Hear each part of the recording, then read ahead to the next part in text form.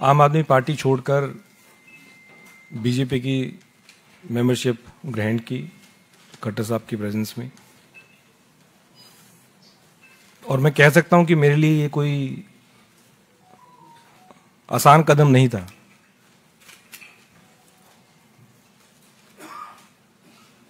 अन्ना जी के दिन से हम पार्टी से जुड़े।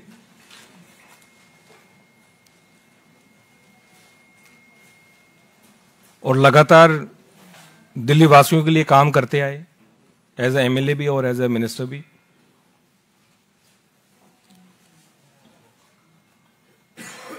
और सही पूछे तो कुछ लोग सोचते हुए कि ये ओवरनाइट कुछ डिसीज़न हो गया या किसी के दबाव में ये मैंने निर्णय लिया। हर एक व्यक्ति जो ये सोच रहा है कि किसी के दबाव में मैंने निर्णय लिया मैं ये कहना चाहता हूँ कि मैंने आज तक किसी के दबाव में आके कोई काम नहीं किया, कोई काम नहीं किया। और राजनीतिक जीवन में लगातार 2015 से पार्टी में रह के एमएलए रह के और एज ए मिनिस्टर भी दबाव में आके मैंने कोई काम नहीं किया। तो जितने भी ऐसी मुझे सुनने में आ रहा है कि ऐसा कोई नैरेटिव बिल्ड करने की कोशिश की जा रही है, कि जिन्होंने ईडी के दबाव में कर दिया सीबीआई के दबाव में कर दिया तो ये सारी मेरे ख्याल से गलत फहमी है। इस प्रकार का नैरेटिव बिल्ड किया जा रहा है। और ये कोई एक दिन का निर्णय नहीं है। मैं तो पेशे से वकील हूँ। वकालत छोड़ के हम आम आदमी पार्टी से जुड़े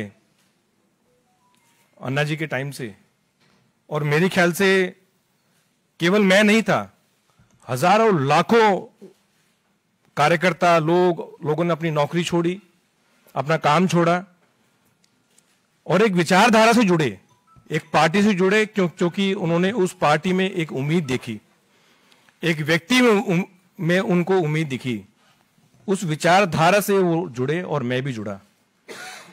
और लगातार दिल्ली वासियों की सेवा करने के मकसद से मैं मैं जुड़ा पार्टी में। राजनीति करने का मेरा और कोई मकसद नहीं था।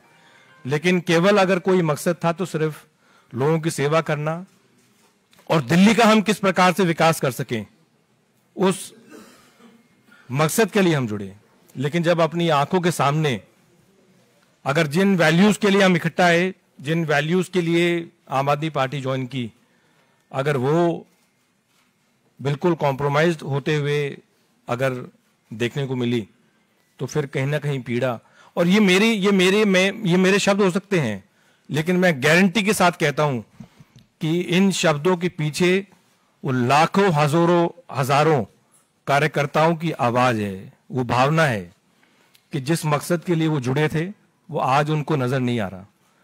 एक आम आदमी की सेवा करने के लिए जुड़े थे वो आम आदमी से, मेरे ख्याल से सब वो लोग खास हो गए हैं। मैंने अपने पत्र के माध्यम से जो, किन कारणों से मैं मैं आम आदमी पार्टी छोड़ी, वो मैं उसके बारे में कुछ ज़्यादा नहीं कहूँगा। मैंने अपने पत्रों के माध्यम से सारी चीज़ें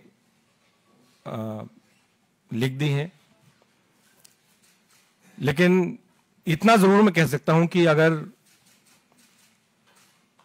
कोई सरकार अगर लगातार हर छोटे विषय पे, हर बड़े विषय पे अगर केंद्र सरकार के साथ पूरा समय, चाहे उसके मंत्री हैं, चाहे चीफ मिनिस्टर हैं, अगर पूरा समय अगर वो लड़ाई में निकालेंगे तो मेरे ख्याल से दिल्ली का विकास नहीं हो सकता।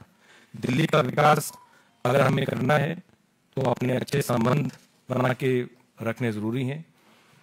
मेरा जितना समय एज ए मिनिस्टर निकला जितने भी जितने भी विभाग रहे मुख्य रूप से आज भी मुझे एज अ ट्रांसपोर्ट मिनिस्टर ही जाना जाता है। और जितना भी मुझे मौका मिला, मैंने पूरी कोशिश की कि चाहे वो केंद्र सरकार है, चाहे एलजी से है, क्योंकि हमारा मकसद हमारा मकसद दिल्ली वासियों के लिए काम करने का था। हमारे पॉलिटिकल एम्बिशंस को आगे रखने का नहीं था। अपने पर्सनल एम्बिशंस को आगे रखने का नहीं था। मेरे ख्याल से जितने भी लोग आम आदमी पार्टी में जुड़े उनका मकसद अपना कि किसी चीज़ की वजह से अब मैं जो चाहता हूँ वो ऊपर हो, वो मकसद नहीं था। लोगों का काम करने का मकसद केवल था। और मुझे पूरा यकीन है कि अगर दिल्ली का विकास अगर वाकई में हो सकता है तो फिर वो केंद्र में जो बीजेपी की सरकार है, उसके साथ कंधे से कंधा मिला के, एक मजबूती के साथ आगे बढ़ के उसका विकास हो सकता है। और यही कारण रहे कि मैं बीजेपी के परिवार से जुड़ा हूँ आज। हमारे आदरणीय और सबसे लोकप्रिय प्रधानमंत्री नरेंद्र मोदी जी, उनकी जो विजन है, उनकी जो नीतियाँ हैं, उनके जो काम है, उनसे कहीं ना कहीं इंस्पायर होके और उनकी लीडरशिप के अंडर और आदरणीय अमित शाह जी हमारे जो पार्टी के प्रेसिडेंट हैं नड्डा जी जितने भी और सीनियर लीडर्स हैं मैं समझता हूँ उनके उनकी गाइडेंस के अंडर मैं काम करता रहूँगा। पहले भी काम करता रहा हूँ और एक चीज़ की गारंटी दे, देता हूँ कि जो भी मुझे रिस्पॉन्सिबिलिटी दी जाएगी उसको मैं पूरी ईमानदारी के साथ निभाऊँगा। और मेरा मकसद मैं फिर रिपीट कर रहा हूँ मेरा मकसद केवल राजनीति में मैंने जब प्रैक्टिस छोड़ के जब राजनीति ज्वाइन की, तब भी मेरा मकसद था कि लोगों के लिए दिल्ली वासियों के लिए और देश, देशवासियों के लिए कैसे काम किया जाए, वो पहले भी था, आज भी है और हमेशा रहेगा। अगर आप ये वीडियो YouTube पर देख रहे हैं तो हमारे चैनल को सब्सक्राइब कर बेल आइकन दबाएँ और Facebook पर देख रहे हैं तो हमारे पेज को लाइक करें। आठ मिलियन प्लस सब्सक्राइबर, आपके इस भरोसे के लिए बहुत धन्यवाद।